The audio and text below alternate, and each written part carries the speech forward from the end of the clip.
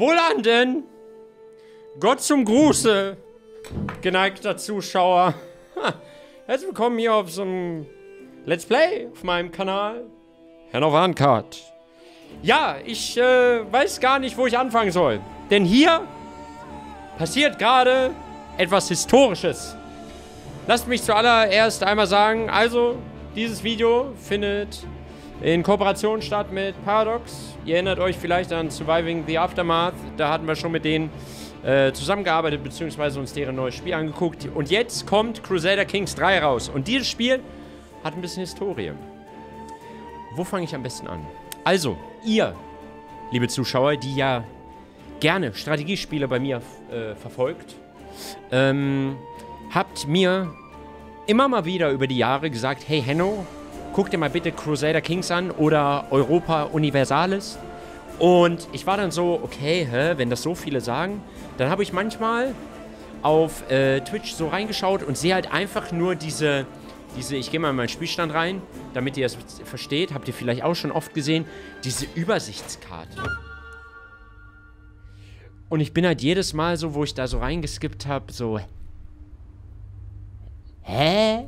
Versteht ihr? Aber äh, lasst mich Folgendes sagen.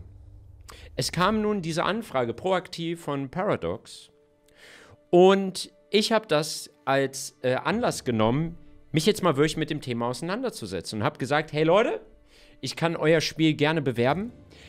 Allerdings, bevor ich fest zusage, würde ich gerne eine Vorabversion bekommen, um mir das mal genauer anzuschauen. Und was soll ich sagen? Ich habe diese Vorabversion vor einer Woche bekommen und habe nun 47 Stunden in diesem Spiel. Ähm, jetzt sagen vielleicht so ein paar Leute von euch, ah, Peanuts. Aber für mich ist das. Also, letzte Woche war ein fetter Dreh. MC Thunder 2 kommt bald.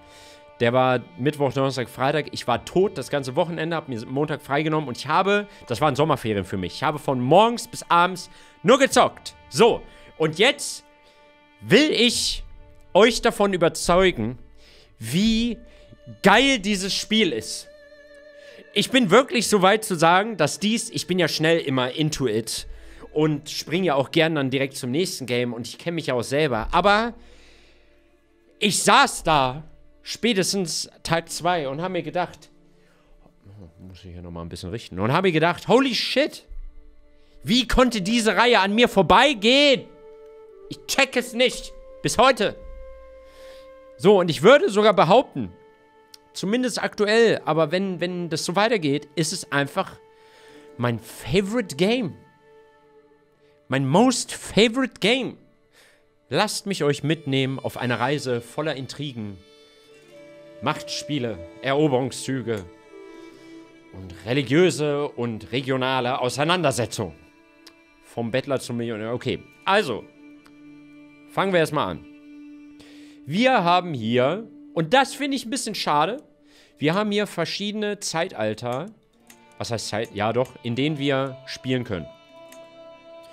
Ähm, und die sind immer so ein bisschen themenorientiert. Ja. Ähm, und da hat man immer ein paar Stops, wo man anfängt. Und das finde ich ein bisschen schade. Das da fangen wir jetzt direkt bei etwas an, wo ich es gern anders hätte. Ich hätte es gerne so, dass ich die Weltmap habe, weil das geht. Bis nach Indien oder runter nach Afrika. Das ist insane. Ähm, ich würde gerne reinscrollen können auf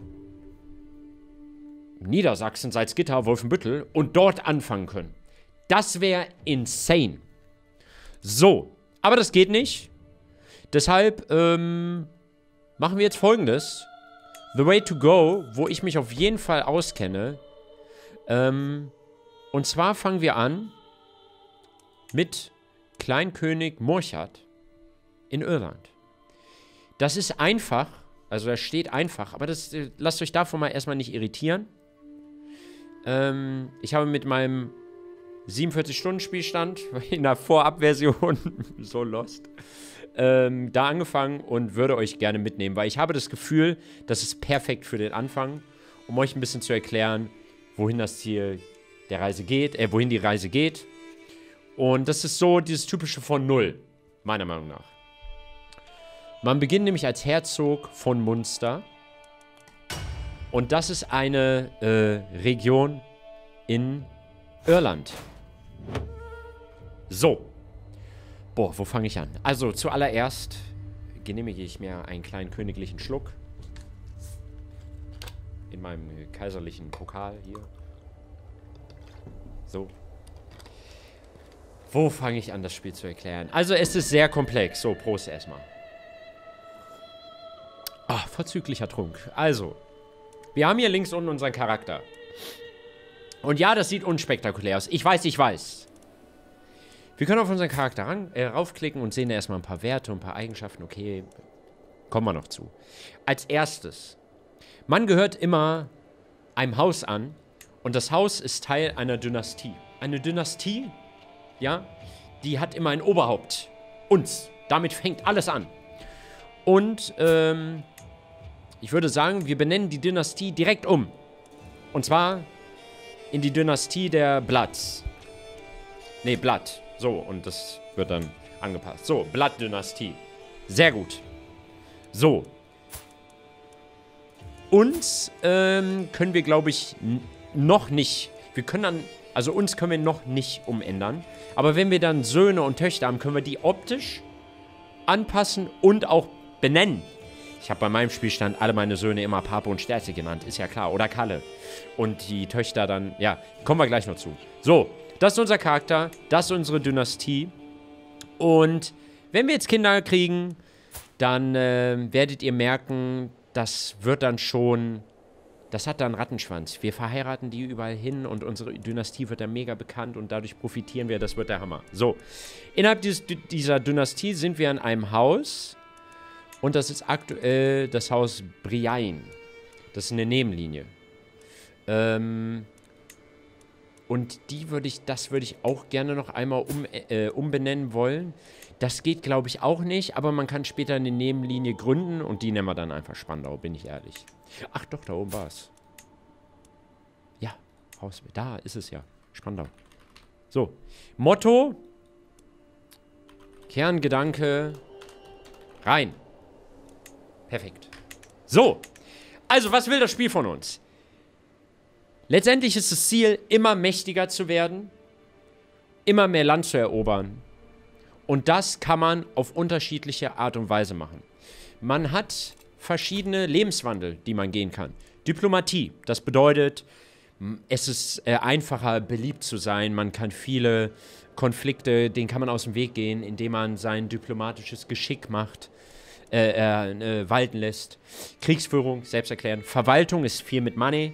Man kann äh, seine Herzogtümer, Grafschaften, Baronien, die kann man richtig ausbauen mit krassen Gebäuden. Dann kriegt man richtig Cash und hat prof profitiert dadurch. Ränkespiele, das ist viel Game of Thrones, bin ich ehrlich. Also man kann Mordkomplott in Gang setzen für seine Widersacher. Man kann äh, aber auch Beispielsweise, ich könnte jetzt, wär, hätte ich da krasse Skills drin, ja, also gehen wir davon aus, Ränkespiel und ich habe hier einen krassen Skill, dann wäre es theoretisch möglich beim König von England, äh, Frankreich, okay, der, der ist klein, holy shit. So, der junge Kaiser des Heiligen Römischen Reichs, der hat ja hier eine Püppi, ne? Und da wäre es theoretisch möglich zu sagen, yo, Liebesdinge, und die verführen wir jetzt, ja? Und dann wäre es theoretisch möglich, wenn wir die Skillung haben, sie ihm auszuspannen, mit der durchzubrennen, die an unseren Hof einzuladen und dort heimlich sie zu heiraten. Ehre, also nicht, aber es gibt viele Möglichkeiten, seine Widersacher abzufacken oder halt eben ähm, selbst alles sehr profitabel anzulegen. So, und der letzte Lebenswandel ist Bildung. Denn in diesem Spiel ist auch Religion so ein Ding. Ja, man kann später seine eigene Religion gründen. Wir sind hier gerade im Inselchristentum. Das ist ein christlicher Glaube. So, der hat verschiedene Grundsätze und Doktrinen und bla. Das klingt jetzt alles sehr viel. Aber das sorgt dafür, wenn man diesen Glauben hat, dass man gewisse Dinge tun kann, ohne einen negativen Beigeschmack zu haben. Oder man bekommt es halt. Also als Beispiel, eine Sünde in meinem Glauben ist, ähm, sadistisch zu sein. Das ist eine Eigenschaft, die kann man haben. Wenn ich jetzt anfange, Leute zu foltern, was auch geht, dann wirkt sich das negativ auf meinen Charakter aus. Werden wir noch sehen. Das nur als ein Beispiel. So, ich kann meinen eigenen christlichen Glauben gründen. Ja, beispielsweise, weiß ich nicht, kann ich komplett benennen, Adjektiv, alles, Anhänger. Und kann hier komplett sagen, yo, ähm, gleichgeschlechtliche Ehe, geht voll klar. Perversion geht klar, Hexerei geht klar. Jo, alle sollen nackt sein. Das geht alles. Ist insane. So. Jetzt ist unser erster Charakter schon ein bisschen vorgestrickt. Theoretisch ist es so, gut, man hatte schon sein erstes Kind, was 18 ist. Sieht ein bisschen älter aus. Meine Fresse, der Bart wuchs, ne? Wenn man jetzt ein Kind bekommt und von null, dann kann man richtig das kontrollieren, in welche Richtung es sich entwickeln soll. Das geht jetzt beim ersten Charakter noch nicht. Das heißt, der hat hier 17 auf Kriegsführung. Das, ich, ne, wir gehen diesen Weg. So, ihr seht schon, es gibt hier drei Talentbäume, nenne ich das jetzt mal. Und da gibt es auch drei Schwerpunkte, die ungefähr das wiedergeben. Und ähm, ja, da nehme ich jetzt euch einmal mit, wie wir diesen Charakter kurz anlegen werden. werden. Also Schwer, Schwerpunkt auf Strategie.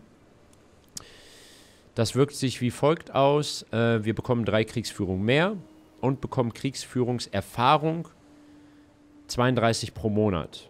Übrigens, das Game ist gerade pausiert. Normalerweise schreitet das voran. Ähm, so, dann gibt es auch noch Schwerpunkt Autorität. Schreckenszuwachs wird erhöht. Wenn man Schrecken hat, dann überlegen sich, überlegt sich der Pöbel zweimal, ob die eine Revolte anfangen.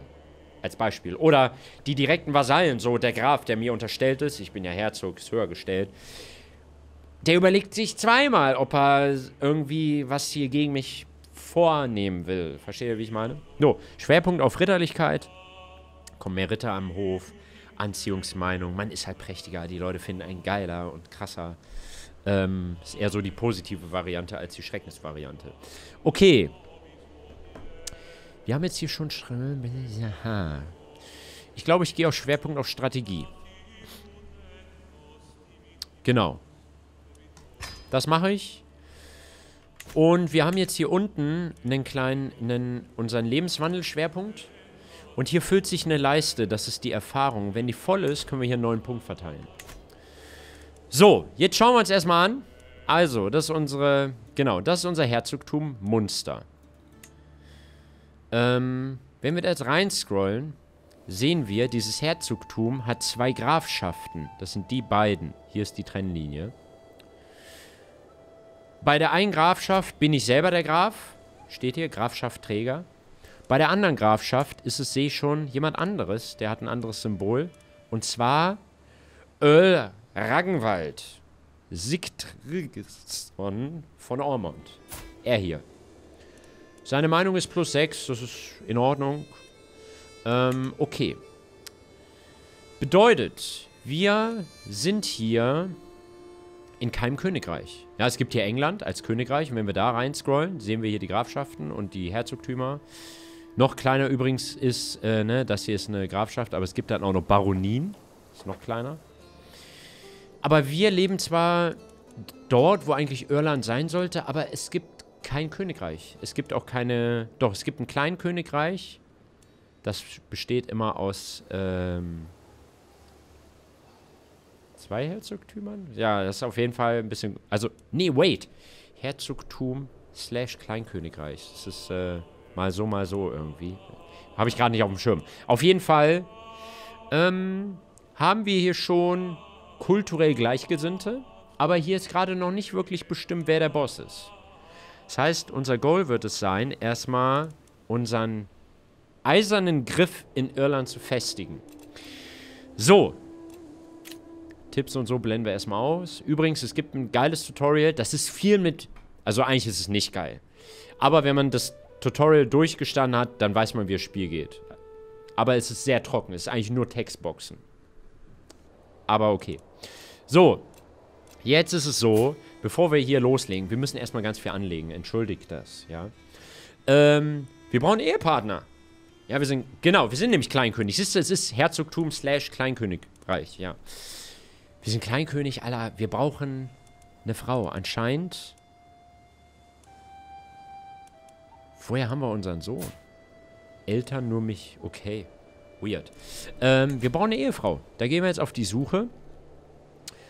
Und da ist jetzt natürlich wichtig erstmal, ja, wir sind hier, das ist ein enges Rennen, ne? Wer hier die Nase vorne haben will, der muss, der muss gewappnet sein. Das heißt, ich brauche starke Bündnispartner. Ach nee, wait. Ich laber Scheiße. Okay, ist egal, kommen wir gleich zu. Ich brauche kleine, ich brauche Bündnispartner. Ich will, ich will eine Frau, nicht mein Sohn. So, ich kann hier sortieren nach Bündnismacht. Wie alt bin ich? 39. Na gut. Ach, das geht schon hier mit der 17-Jährigen. Also, mögliches Bündnis, Herzogtum Normandie. Und da sieht man schon die militärische Stärke dieses Herzogtums in der Normandie. Da kann man hingehen. Äh, wait. Können wir hingehen? Hier. Herzogtum. Normandie. Das hier. Ist sogar recht nah. Verhältnismäßig. Wie gesagt, man kann hier bis, äh, ne? ja. Ähm, und die haben eine militärische Stärke von 5000 Truppen. Wir haben 372. Das heißt, holy shit, wenn wir den dran kriegen und hier Kriege erklären und er kommt rum mit seinen 5000 Mann geschippert, der boxt hier alles weg. Und das wird er, wenn wir für ihn einen geilen Deal, äh, ne? So, also nochmal auf uns. Ehepartner finden. Bündnismacht. So. Adelaide de Portieu. Gut. Was kann die denn? Die ist ehrlich, gierig. Genau, das erkläre ich euch auch noch gleich. Das ist auf jeden Fall alles in Ordnung. Erkläre ich euch gleich. So, das ist jetzt für uns persönlich nicht der oberkrasse Deal, abseits der militärischen Stärke und des Bündnisses. Was auch noch relevant ist für einen selber, ist Prestige. Was bringt diese Hochzeit an Prestige? Prestige ist äh, eine, ein, ein Wert, der unsere Ruhmstufe vorgibt, wo wir ähm, climben können. Warte mal, kann ich hier nicht äh, auf... Hier ist gerade mein Kelch davor. Ruhm. Ruhm. Wenn ich das hier eingebe, genau. Ruhmstufe. So, die Ruhmstufe eines Charakters misst seinen allgemeinen Ruf und wie positiv ihn andere wahrnehmen. Jedes Mal, wenn ein Charakter Prestige erhält, kommt er der nächsten Ruhmstufe näher. Aktuell sind wir bekannt. Und der nächste Schritt wäre hervorgetan. Bekannt, auf bekannt, wo wir uns aktuell befinden, haben wir keinen Effekt. Hervorgetan bekommen wir weltliche Meinung plus 5. Das heißt, alle Leute auf der Welt, ist glaube ich die weltliche Meinung, ja, die nicht dem Klerus angehören, ach so, okay, haben plus 5. Ja, die Charaktere haben hier immer eine Meinung. Sie hat minus 1, das ist, das ist neutral quasi. Wäre das jetzt minus 80, dann müsste ich mir Gedanken machen. So, und wir können mehr Ritter haben an unserem Hof. Ritter sind sehr entscheidend, bei, weil bei Schlachten, die es noch geben wird, sind Ritter sehr entscheidend. So, ich nehme jetzt erstmal nochmal einen Schluck, weil ich habe jetzt sehr viel gesabbelt. So, das heißt, ist aber erstmal nicht so wichtig, diese 5000 Mann, die dieses Bündnis mit Herzog William II., der Bastard von Normandie, holy shit, die sind, die sind wesentlich krasser. So, also Bündnisse, Herzog William II. würde daraus hervornehmen. Hier steht, wird annehmen, spricht für ihn auch viel dazu, weil letztendlich es ist ein Höfling von ihm. Es ist nicht mal eine Tochter. Es ist einfach nur jemand, der an seinem Hof ist. Ich bin Billo. Der ist viel zu krass für mich. Aber wenn ich einen Höfling von ihm heirate, gut. Eine Tochter würde er mir nie geben. So. Vorschlag abschicken. Passiert gleich was, wenn wir hier auf Go klicken. Achso, seht ihr nicht. Ich bin... Ich kann euch mal zeigen, was hier in der rechts unteren Ecke ist. Da ist quasi eine Reichansicht. Da kann man ein bisschen durchschalten. Ähm, und man sieht, wie viel Tempo das Spiel hat. Kann ich später äh, einstellen, welches Datum wir haben und äh, Startstopp.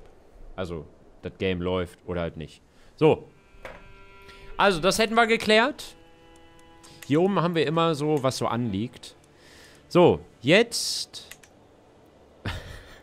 wir müssen erstmal ein bisschen Groundworking. Schreibt gut mit betreiben. Weil ich werde dieses Game, also es tut mir leid, aber ich bin gehuckt wie. Holy shit. Wir haben einen Rat. Egal wer wir sind. Ob wir ein kleiner Billo sind oder der Kaiser des Heiligen Römischen Reichs. Man hat immer einen Rat. Der besteht aus den nächstuntergebenen. Das ist quasi wie so eine Pyramide. stellt euch vor, wir sind König von Irland. Dann sind die Kleinkönige und die Herzöge unsere Vasallen. Und die haben auch nochmal Vasallen, das sind dann die Gräfen. Und die Gräfen haben auch nochmal Vasallen, das sind, das sind dann die, ja, ist auch egal, die, die Bürgermeister und so weiter. Okay, dieser Rat sieht aber immer gleich aus, zumindest in den Posten, die dieser Rat innehält. Das heißt, es gibt ein religiöses Oberhaupt, es gibt jemanden, der für die Verwaltung macht, jemand, der die Diplomatie macht, jemand, der sich um die Kriegsführung kümmert um je, und jemand, der sich um das Ränkespiel kümmert.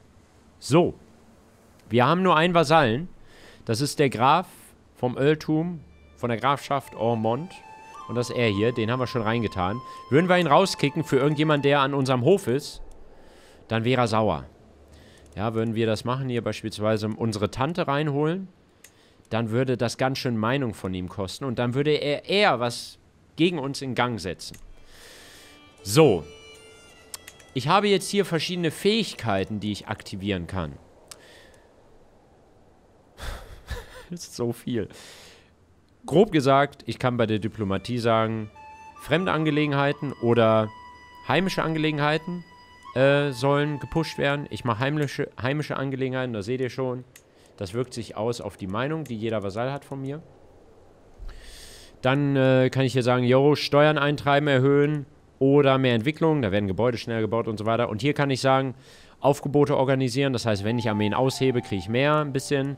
Ich kann aber auch sagen, der soll Befehlshaber finden. Dann sucht er für mich krasse Leute, die beispielsweise Ritter von mir werden oder ähm, halt wirklich Heere leiten können. Oder ich sage, ich will mehr Kontrolle in Gemeinden. Wenn die hier aufmüpfig werden, dann kann ich sagen, jo, gesorgt damit vor Kontrolle. Und das dauert ein bisschen und dann ist da Kontrolle. Der Ratspitze sorgt dafür, der kann Komplotte gegen mich stören. Er kann aber auch die, die ich in Gang setze, unterstützen. Das heißt, sie werden eher erfolgreich. Ich kann zum Beispiel sagen, jo, hier, unser Bischof, der mag uns nicht so. Ich will den mal beeinflussen, dass der uns, dass sich seine Meinung erhöht über uns um 25 das dauert zwei Jahre und nee, jeden Monat besteht eine Chance von 40 Prozent, dass es einen Fortschritt gibt, aber grob geht es zwei Jahre und zu 60 Prozent findet das, läuft es gut.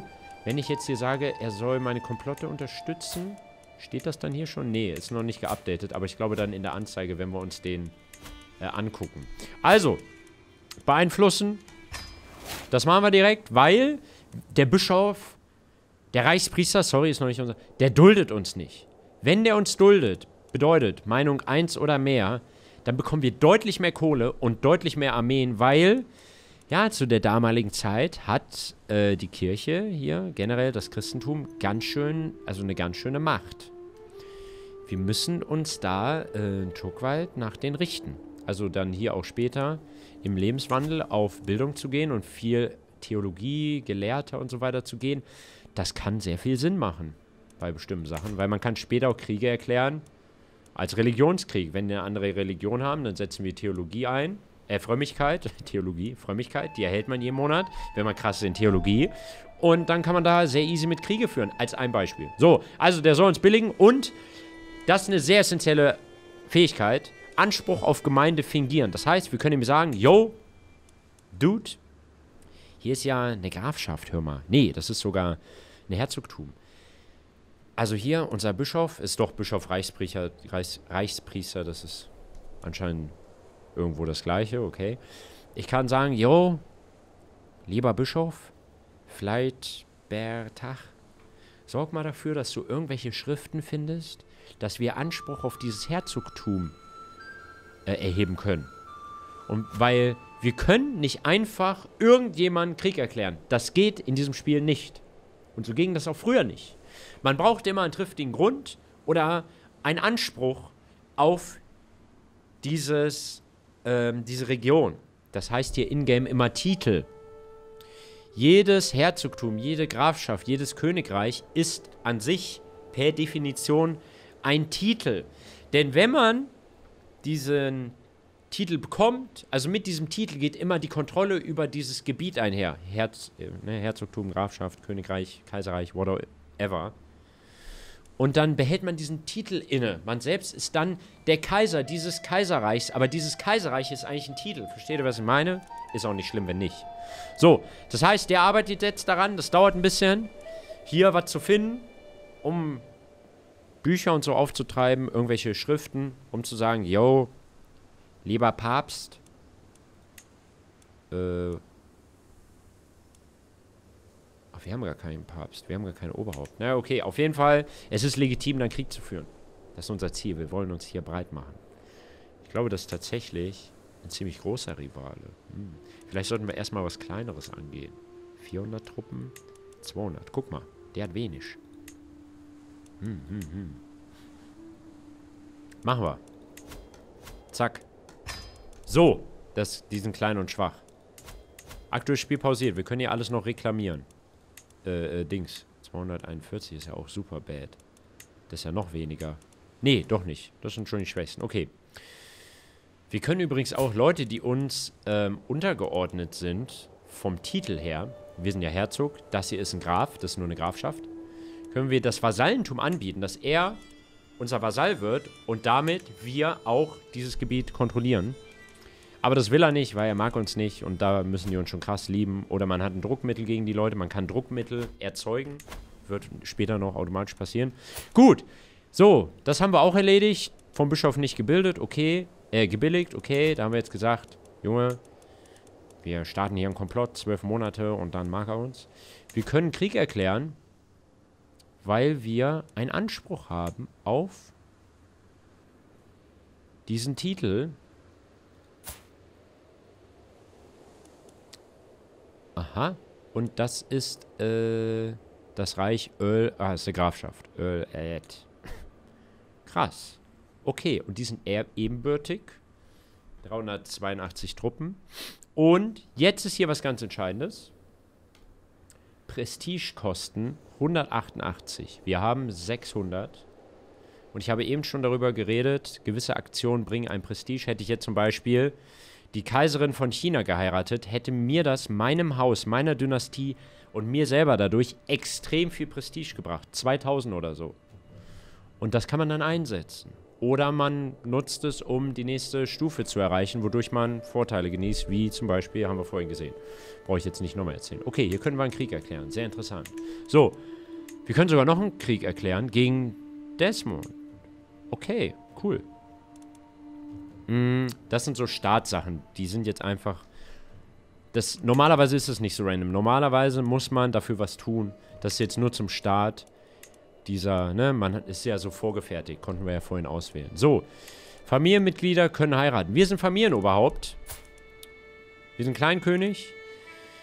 Wir sind das Oberhaupt der Dynastie und des Hauses Spandau. Ja, Kleinkönig Morchert ist das Oberhaupt. Das heißt, wir dürfen bei unserer Familie oftmals, äh, hoppala, die ähm, bestimmen, wen die heiraten sollen. Und das ist sehr essentiell. Zum Beispiel unser Sohn und Erbe. Den zu verheiraten früh ist sinnvoll, weil sobald er 18 ist, fängt er an Kinder zu machen. Das ist super wichtig, weil die kann man auch verheiraten, wieder Bündnisse schaffen, Prestige bekommen. Die vermehren sich dann auch. Da braucht man gar nichts mehr machen. Das passiert automatisch. Unsere Dynastie, unsere Häuser werden immer größer. Die gründen Nebenhäuser und es regnet nur so Prestige und auch Bekanntheit. Das ist übrigens noch ein Wert. Umso bekannter wir sind, unser Haus, unsere Dynastie, können wir später in unserem... Kann man das hier schon machen? Wait. Genau. Können wir ein Vermächtnis... Also ist quasi auch ein Skilltree für unsere Dynastie. Wir können zum Beispiel ein skillen blaues Blut. Das bedeutet vererbliche Eigenschaften 30% eher. Kommen wir auch noch hin. So. Den verheiraten wir jetzt auch noch. Äh, unseren Sohn. Da machen wir mal Bündnismacht wieder. Ähm, Herzogtum von Böhmen. Die sind richtig krass. Nee, wait. 2700, ja. Was haben wir hier noch? Fürstentum Gwent. Und die sitzen in Wales. Wales gibt es aber auch noch nicht. Das ist aufgeteilt in... Okay. Können wir nicht... Man kann das übrigens auch anders machen. Man kann hier sagen, jo, England, Königreich England. So. Da haben wir hier einen König Harold, der Zweite. Der hat hat der Töchter? Ja, der hat eine Prinzessin. So, und da können wir jetzt sagen, yo, Heirat arrangieren. Unser, nicht uns selber. Wait. Heirat arrangieren unser Sohn und die nehmen an. Sehe ich gerade. Aber das Ding ist, das nicht mit dem König selber, sondern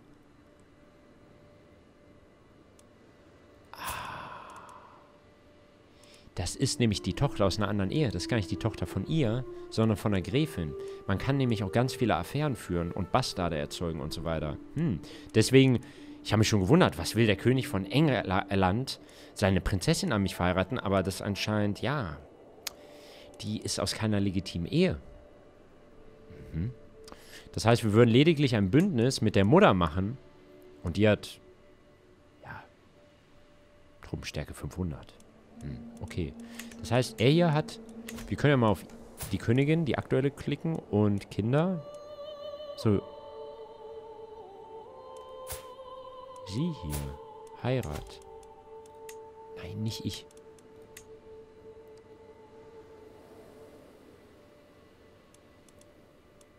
Oh, lol. Der Vater ist verstorben. Ah, das Bild für... Okay, er hat die sich irgendwann gesch... Okay, es ist komplex. Gut. Ihr merkt schon, also das ist manchmal verstrickt. Ich würde jetzt einfach das so machen, dass ich meinen Sohn verheirate mit... Wir sind übrigens immer noch nicht beim Gameplay wirklich. Ich setze gerade erst alles in Gang. Bündnismacht. Es ist jetzt schon sortiert nach dem stärksten Bündnis. Was kann sie denn? Ruhig, bescheiden, großzügig, okay. Vielleicht würde ich hier nochmal gucken. Man kann filtern nach fruchtbar, das ist wichtig, damit die überhaupt Kinder kriegen können. Und Eigenschaften vererblich. Neben diesen ganzen Eigenschaften, die ich gleich noch ein bisschen erkläre, gibt es auch solche, die vererblich sind. Das heißt, es steht da ja auch schon, die Möglichkeit, dass diese Erbschaft meine Kinder bekommen, besteht. Und wunderschön ist eine sehr starke Eigenschaft, da gibt es noch Abstufungen. Ähm, stattlich, das ist quasi nur 20% mehr Fruchtbarkeit. 20% mehr Meinung, zwei Diplomatie. Wunderschön, ist eine Stufe drüber, ist die höchste Stufe. Und es gibt auch noch eine ganz kleine, ist die hier? Ja, hier, die ganz kleine Rose, Wohlgestalt. So, das heißt, das ist richtig, das ist ein guter Fang. Mögliches Bündnis, Grafschaft von Luca, wenig Truppen. Aber das ist eine solide Königin. Später mal.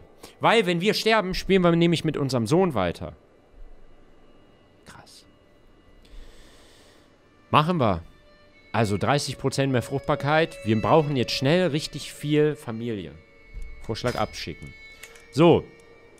Dann habe ich hier noch einen Halbbruder. Da würde ich jetzt gern, den würde ich jetzt hier gern schon mal unterverheiraten. Äh, da ist aber die Frage. Nee, ist egal. Ich mache hier am Anfang nur noch... Also ist die Frage, das wären ja potenziell, wenn ich die alle besiegt habe, meine Vasallen, wenn ich die jetzt unterverheirate, dann ist das ganz gut für mich. Aber ich gehe jetzt hier mal nur nach Bündnismacht. So, was haben wir hier? Wenig Truppen, aber Halbbruder bringt auch nicht so viel. So, wir haben jetzt noch einen Halbbruder, der auch unser Ritter ist. Bündnismacht. Oh, er ist sogar ein Lisper. Lispler. er lispelt. Ja, Anziehungsmeinung minus 5, Diplomatie minus 5. Das ist natürlich scheiße. Okay, das bringt ihm sogar Negativ-Prestige, aber das tangiert mich nicht. Machen wir. So, wir haben jetzt, glaube ich, erstmal alles gemacht, was wichtig ist. Wir haben alles in die Wege geleitet. Ich habe alles erklärt, außer die Eigenschaften. Folgendes. Wenn wir ein Kind bekommen, können wir sagen, wir unterrichten es. Der ist 18, deswegen ist der schon der, der Drops ist schon gelutscht. Das geht immer bis zum Lebensjahr 18. Und in dieser Zeit können wir diese drei Persönlichkeitseigenschaften ein bisschen gestalten. Da gibt es eine Auswahl von unterschiedlich vielen. Wenn jemand zum Beispiel, ich selber bin maßvoll, da könnt ihr euch durchlesen, was das alles bringt. Meinung äh, von Inselchristlich, das ist meine Religion, das ist beliebig. Ähm, Frömmigkeit mehr, mehr Verwaltung, Gesundheit kleiner Bonus. Und dieses maßvoll ist in unserer Religion eine Tugend. Ja, diese Eigenschaften können Tugenden oder Sünden sein. Und das habe ich ja vorhin schon gesagt, wirkt sich ein bisschen aus. Wirkt sich aber generell auch immer diese Persönlichkeitseigenschaften auf die Persönlichkeit ein. Das heißt, wenn ich einen Vasallen habe, der zufrieden, der die Eigenschaft zufrieden hat, muckt der seltener auf als einer, der gierig ist. Unabhängig davon, dass sie auch ein paar äh, Boni und so geben. Das nur am Rande. So, dann haben wir hier Ausbildungseigenschaften.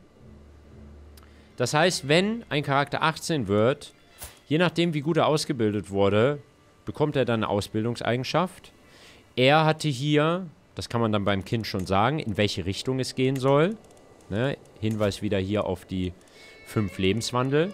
Wir können schon bei einem Kind sagen, yo, du sollst grundlegend in der Verwaltung geschult werden. Ich plane bei meinem nächsten Erben auf Verwaltung spielen zu wollen.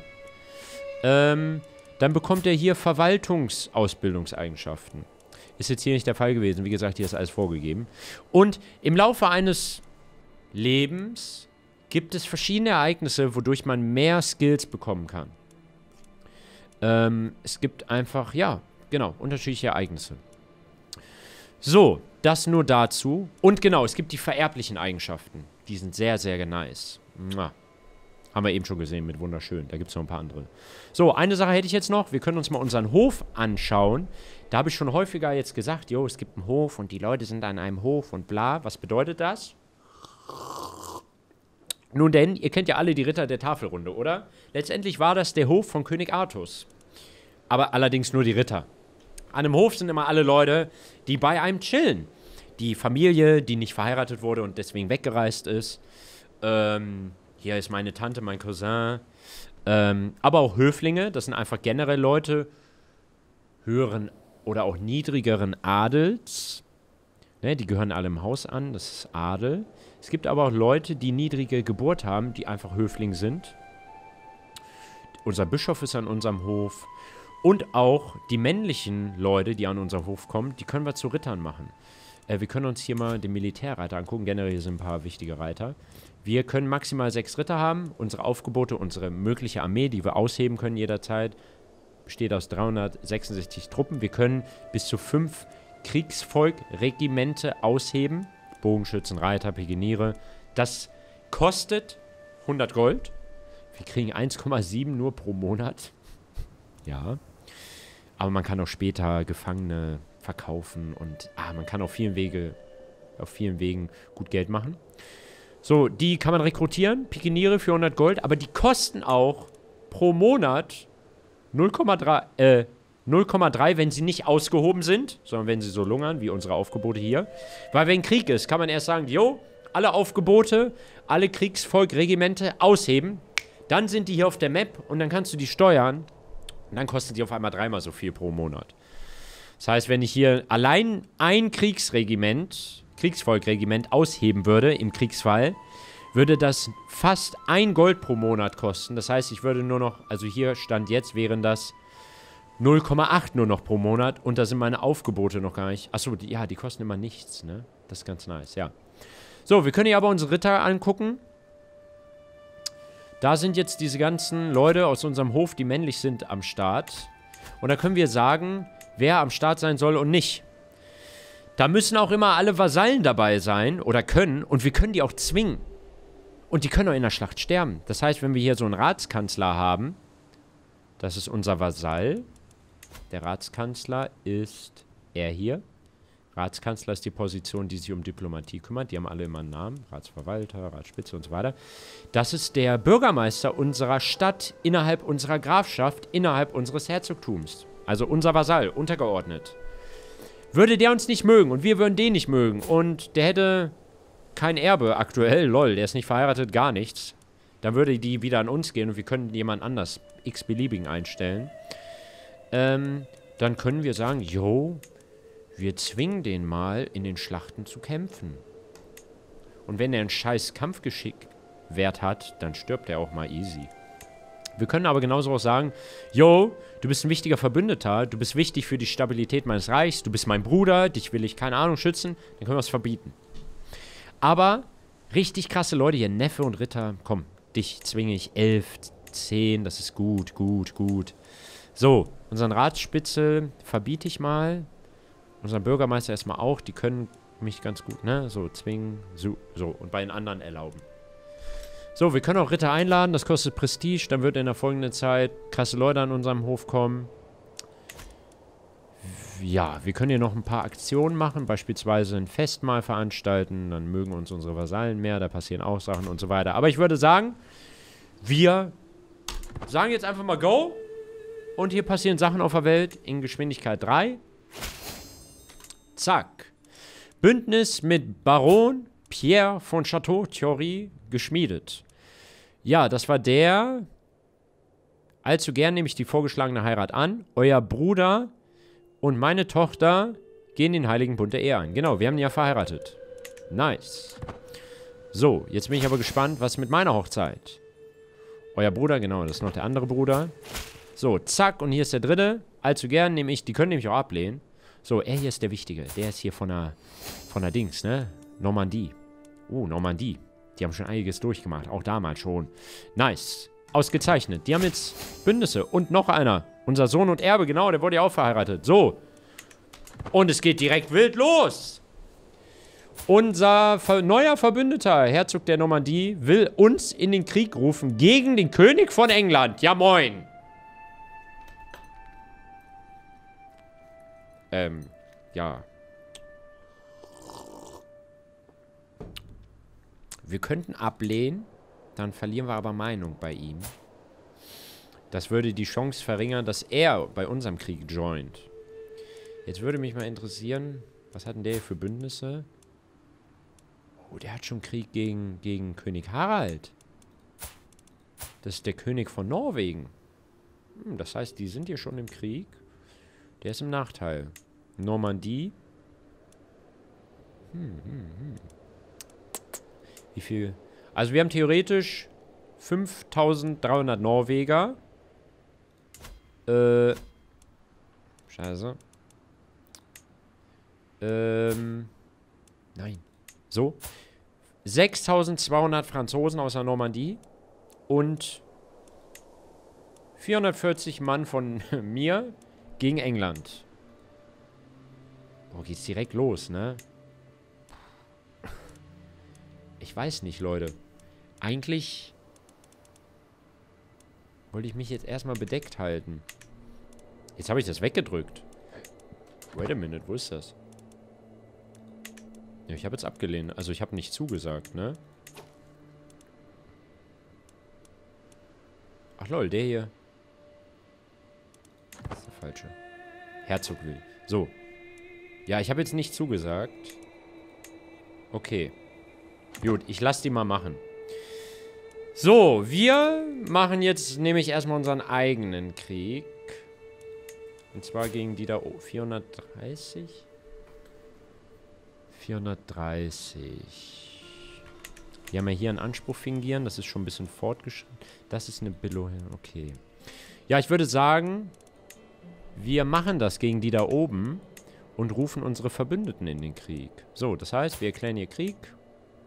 Ansprüche von mir. Es geht darum, das heißt, wenn ich den Krieg gewinne, werde ich das bekommen. Kostet 138 Prestige. Krieg erklären. Ab geht die Luzi. So, ich habe pausiert, denn jetzt will ich erstmal Verbündete in den Krieg rufen. Ähm, na, der Herzog ist beschäftigt, aber... Wo ist er denn? Da unten? Okay, das ginge. Baron Pierre. Aha. Graf Al... Ne, das ist ja eben aus den ganzen Heiraten, die wir da abgeschlossen haben. Ich glaube, ich würde ihn hier mal rufen. Wobei, der hat nur 180 Mann. Ne, wir rufen einen Herzog. Der wird annehmen. Cool. Mal gucken, ob er rumkommt. So, okay. Und wir heben jetzt unsere Truppen aus. Aufgebote. Ach ja, genau. Alle Armeen ausheben. Zack. So, die werden jetzt gesammelt. Wir können jetzt sagen, Befehlshaber, das sind wir, weil wir sind krass. Er sagt zu, Ehre. So, und jetzt würde ich die erstmal kommen lassen. Wir haben da ein bisschen Nebel des Krieges. Meine Krone drückt ein bisschen. Keine Bange, die Mucke ist gleich vorbei. Ähm, so, und wir sehen schon unseren Verbündeten. Der ist da oben schon in England am Bekriegen, genau. Aber er schickt auch nochmal 8 Mann, 800 Mann rüber. Ehre. Ah, lol, das sind Söldner, die er sich geholt hat. So, und jetzt passieren immer mal wieder Ereignisse. Eine strategische Sackgasse. Ich sitze mit Earl sonst was, das ist ja einer unserer Vasallen, der ist hier von Ormond, der Graf. Und der Bürgermeister von äh, der Stadt Ines, genau, auch unser Vasall. Ja, die sind unzufrieden, ne, wie es läuft. Also, es hat noch nicht angefangen, aber die sind schon unzufrieden. Der eine will einen direkten Sturmangriff auf den Feind. Und der andere will, dass wir Geduld walten lassen sollen. So, und ich soll jetzt entscheiden, was wir machen. Ich könnte sagen, unser... Ich übersetze das jetzt euch. Das ist super viel Detail-Dings. Zockt das am besten mal selber, wirklich. Dann ist auch das Zusehen hier richtig geil. Ich sag euch das. Ich übersetze das jetzt mal für Noobs. Moin. Ähm, also, entweder wir sagen, yo, wir pflichten dem einen oder dem anderen bei. Je nachdem verbessert uns die Bezie äh, verbessert sich die Beziehung mit dem einen oder dem anderen. Und wir bekommen verbesserte Verteidigung. Da können wir theoretisch auch manchmal drüber hovern und manchmal irgendwie nicht. Also manchmal geht das, dass wir in ein Fenster kommen und da dann drüber hovern können, weil diese verbesserte, verbesserte Angriff, das ist eine Fähigkeit, die wird dann hier noch aufgelistet. Sehen wir gleich. So, ähm, oder ich sage, Jungs, macht wie ihr wollt. Dann bekommen die beide, erhöhen sich beide ihre Meinung mir gegenüber, aber allerdings nur halb so doll. Dadurch, dass ich aber krass skilled bin in Kriegsführung, habe ich ein, eine extra Option. Und die sagt, auch ich erhalte verbesserte... Ach so, der eine ist für verbesserte... Ah, wenn ich den einen beipflichte, bekomme, bekommt er verbesserter Angriff. Und ich aber nicht er, der, der andere. Oder umgedreht mit verbesserter Verteidigung und ich. Ähm, und wenn ich sage, jo, macht was ihr wollt, dann bekommt der eine verbesserte Angriff, der andere verbesserte Verteidigung, ich aber nichts. Ich kann jetzt aber, weil ich krass bin in Kriegsführung, sagen, jo, wir kriegen alle das, was wir wollen. Aber die Meinungen werden jetzt nicht erhöht. Aber das mache ich. Weil, dann kann ich das jetzt auch mir mal durchlesen. So, zack, das sind die Effekte. Also, verbesserter Angriff bringt bei einer Schlacht 10% mehr gegnerische Todesverluste. Und der Angreifer hat einen Vorteil. Also wenn wir Angreifer sind. Ähm, und andersrum, Verteidiger, verbesserte Verteidigung bringt, ne, wir haben das jetzt fünf Jahre lang. Das ist ziemlich nice. Verteidigervorteil plus fünf, wenn wir Verteidiger sind, wenn wir angegriffen werden. Und wenn wir in unseren eigenen kontrollierten Territorien uns aufhalten, nochmal plus zwei. So, das ist schon mal richtig Ehre. Weil wir sind, also ne, wir sind krass. Diplomatie sind wir kacke. Aber ich bin mir ziemlich sicher, wir gehen da jetzt mal hoch, dass wir auch allein die wegmachen. So. Aber ich glaube, oh, unsere Gemahlin erhält die Eigenschaft schwanger. so, wir sind auch nebenbei, neben dem Schlachtfeld fleißig. So, wo kommen hier seine Leute? Oh lol, er hat die gar nicht für uns eingesetzt, sondern schippert weiter rüber. Ja, macht er erstmal dein England-Ding. Okay. So, dann gehen wir jetzt mal hoch. Der wandert hier, ist gerade mittlere Geschwindigkeit. So, und da sehen wir schon. Ich mache jetzt mal Pause. 445 Truppen, das sind ein paar mehr. Aber wir sehen schon, würden wir jetzt dahin latschen, bekommen wir hier eine, eine Einschätzung. Ihr werdet wahrscheinlich siegen. Die Schlacht würde neun Tage gehen, denn wir haben einen deutlich besseren Armeebefehlshaber und wir haben eine Armeebefehlshaber-Eigenschaft, nämlich Fortner. Das ist hier eine Eigenschaft, die wir einfach haben. Das heißt, wir können Gewässer ohne Defizite überqueren.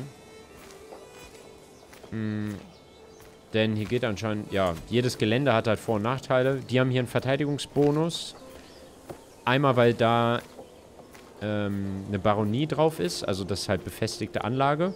Und weil es ein Hügel ist. Aber ich bin fest davon überzeugt, wir gewinnen das. So, ich gehe da jetzt drauf. Und dann gibt es jetzt eine Schlacht. So, jetzt gibt es hier... Trinken wir erstmal unseren heiligen gekrönten Wein. Und wir sehen schon, die werden komplett weggebuttert. Und ich mache mal Pause. Hier sieht man nämlich auch schon ganz gut. Wir haben sechs Ritter, die haben vier. Und Ritter sind sehr essentiell, das habe ich ja schon mal angerissen. Stößchen. Ich lese einfach mal vor. Ein Ritter ist ein Charakter, der sich eurer Armee anschließt, um an der Seite der Truppen zu kämpfen. In Schlachten greifen Ritter auf ihren Kampfgeschick-Wert zurück, um effektiver zu kämpfen. Ein hohes Kampfgeschick heißt, dass sie dem Gegner mehr Schaden zufügen können und viel, sehr viel wahrscheinlicher überleben und unbeschadet aus der Schlacht hervorgehen. Ein Charakter kann nicht gleichzeitig Befehlshaber und Ritter sein. Ja, das heißt, wir selber können nicht mitkämpfen. Diese Streiter haben unterschiedliche Na Namen, je nach Kultur und Glauben. Okay, ja. Das heißt, wirkt sich... Also, ne, wir haben ja vorhin gesehen, wen wir alles zum Ritter machen können. Und die Gegner haben auch Ritter. Und unsere Ritter können deren Ritter killen. Es gibt noch Güte. Äh, das bedeutet, die Güte spiegelt die Stärke der Armee. Also quasi, wie ist die Armee so aufgestellt? Also wie motiviert sind die? Oder, ne? Es geht auch ein bisschen, es gibt auch noch Versorgung, ne? Wie viel Verpflegung haben die? Aber Güte ist sehr wichtig. Güte spiegelt die Stärke einer Armee im Verhältnis zu ihren Truppen wider.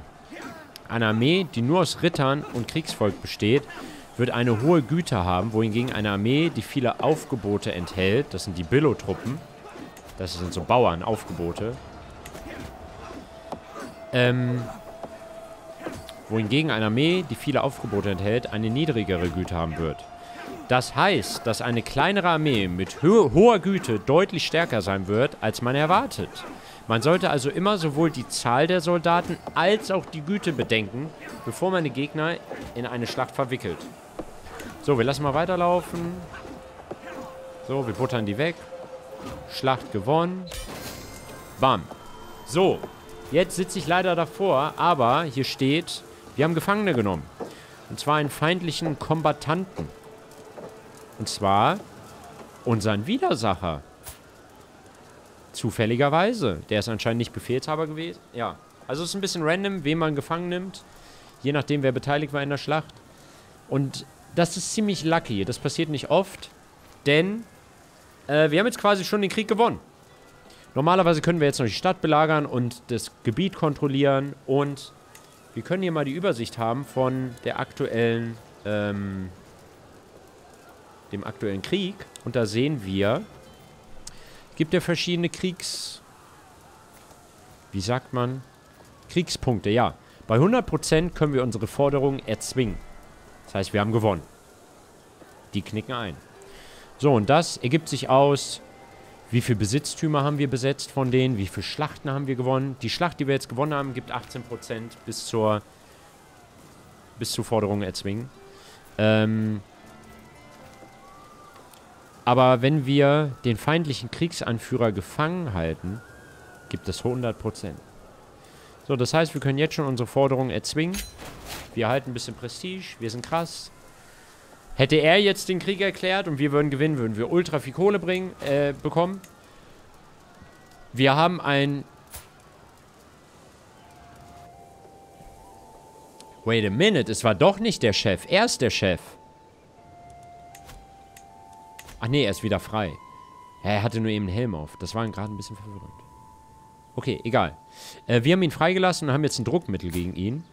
Mit einem Druckmittel könnten wir viel eher eine Heirat arrangieren, wo er normalerweise nicht Ja sagen würde. Wir können sagen, yo, also er ist jetzt übrigens auch mein Vasall. Er ist mir jetzt unterstellt. Ich habe ihn bezwungen. Ist eine Grafschaft. Er ist mein Vasall. Und mit einem Druckmittel könnten wir ihn dazu zwingen, eingekerkert zu werden. Das gibt uns auch wieder ein paar Möglichkeiten. Oder wir können eine Vasallenbande ändern.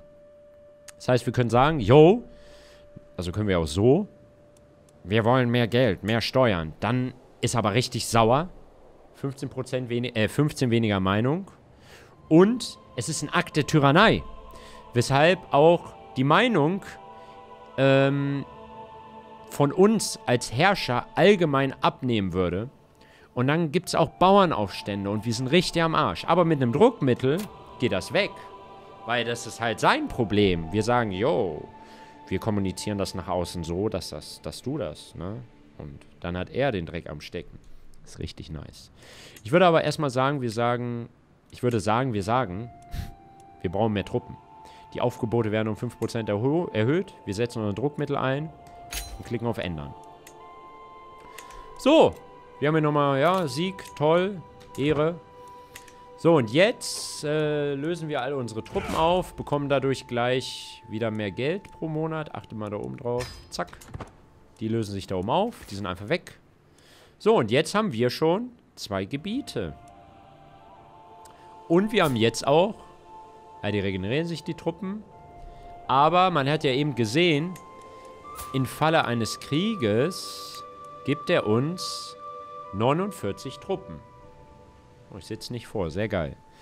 Diese 49 Truppen fließen hier in unsere Aufgebote rein. Wir hatten eben weniger. Die sind auch gestorben, deswegen müssen die erstmal sich ein bisschen regenerieren. Aber ja. So. Wie läuft es sonst? Er hier ist bald beeinflusst. Wir können auch unsere Komplotte, da haben wir eine Übersicht. Oha. Jetzt passiert hier gerade was. Eine Herausforderung. Ich befinde mich gerade im Übungskampf gegen einen meiner Soldaten und der Schweiß steht mir auf der Stirn, bla bla bla. Mein Ritter winkt mir zu. Ich gehe hinüber und begrüße ihn. Wir unterhalten uns eine Weile über unsere Übungen, ne? dies, das, den Übungen, Gewichte heben. Mit der Waffe, achso, und tauschen Kniffe und Ratschläge aus. Gerade möchte ich mich umdrehen und weiter üben, als er mir vorschlägt, man könne gegen ihn antreten. So, das ist einfach nur ein Ritter von uns. Der ist noch in unserem Hof. Ich könnte die Herausforderung annehmen oder ablehnen. Wenn ich sie ablehne, büße ich Prestige ein. Wir wissen ja inzwischen, wofür wir es gebrauchen können. Wenn ich es annehme, haben wir eine Kampfgeschick-Herausforderung. Und zu 37% verlieren wir. Krass. Der hat doch nur 9 Kriegsführung. Aber 10 Kampfgeschick, okay. Und wir haben 21 Kriegsführung, aber nur 5 Kampfgeschick. Verstehe. Ich sag mal lieber nicht. Weil das wird sonst peinlich. Okay, wir lassen weiter laufen. Ja! Ah, ist auch schön. Meine Krone ist so ein bisschen aus Gummi. Deswegen kann er auch wunderbar... Ne? Kann auch wunderbar das Headset drüber. Ich würde noch mal ein Schlückchen trinken. mm, wunderbar. So. Jetzt können wir theoretisch sagen, jo, ist ein bisschen Zeit ins Land gekommen. Unsere Truppen haben sich langsam regeneriert. Oh, hier ist gerade ein Ereignis. Wir haben einen Mangel in Schultheißen für fünf Jahre erhalten. Mangel an Schultheißen. Was ist Schultheiß? Das ist doch ein Bier aus Berlin. Ach, kommt das daher? In dieser Grafschaft gibt es nicht genügend Schultheißen für das gesamte Gebiet. So, und da gehen die Steuern runter, der Zuwachs, Volksmeinung ist alles Kacke. So, ich guck mal, welches... Diese Grafschaft ist gemeint. Okay, das heißt, wir sagen, unser Ratsmarschall soll Gemeinde mehr Kontrolle in Gemeinden ausüben und klicken auf diese Grafschaft. So, und das ist auch schon fast voll, weil der Schaden ist nur minimal. Das wurde jetzt schon behoben. Oh, wir haben eine Tochter bekommen. Okay, super. Super, super. Und der arbeitet jetzt noch dran, dass das alles ein bisschen behoben wird. So, wir haben eine Tochter. Voila. Wir können jetzt sagen, wie die heißt. Und ich würde mal sagen, äh, meine Tochter heißt... Ähm...